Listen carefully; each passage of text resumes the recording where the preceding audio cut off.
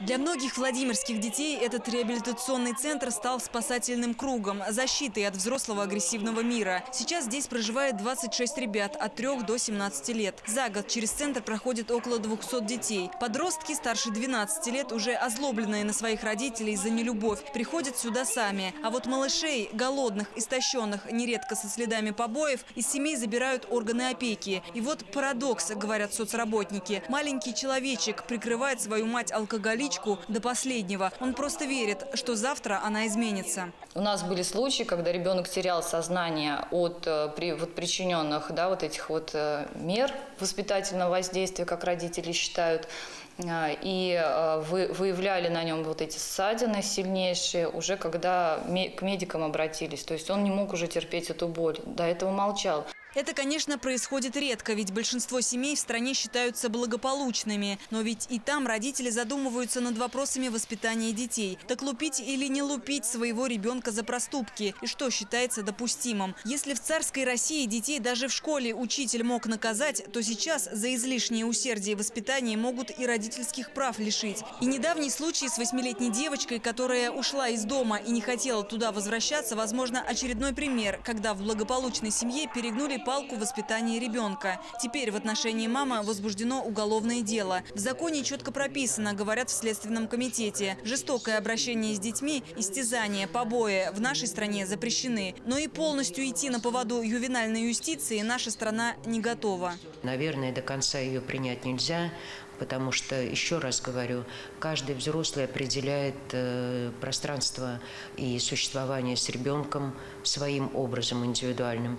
И за каждый чих, и за каждый всплеск, и за каждое повышение тона голоса э, вырывать ребенка из семьи – это абсолютный перегиб.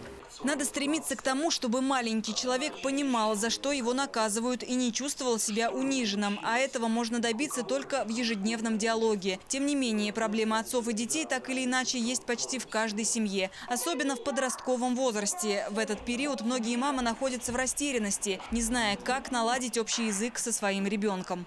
Он от нас отдалился, мы его не понимаем, он не понимает нас. Да потому что еще в начальной школе, в детском садике вы не уделяли, как родители, ребенку внимания, не разговаривали с, ними, с ним, не вели диалог. У вас нет, не было в семье традиций, где вы там, э, может быть, раз в неделю собирались за круглым столом обедать или ужинать. Тем временем у современных родителей есть еще один рычаг без физического наказания призвать ребенка к послушанию. Отбирать гаджеты и не пускать гулять за прогулы и неуспеваемость. По словам Владимирской молодежи, такие случаи воспитания практикуются сейчас почти в каждой семье. За учебу, да, за двойки тоже наказывали. Ну да, я уже боялась этого, старалась не получать такие плохие оценки.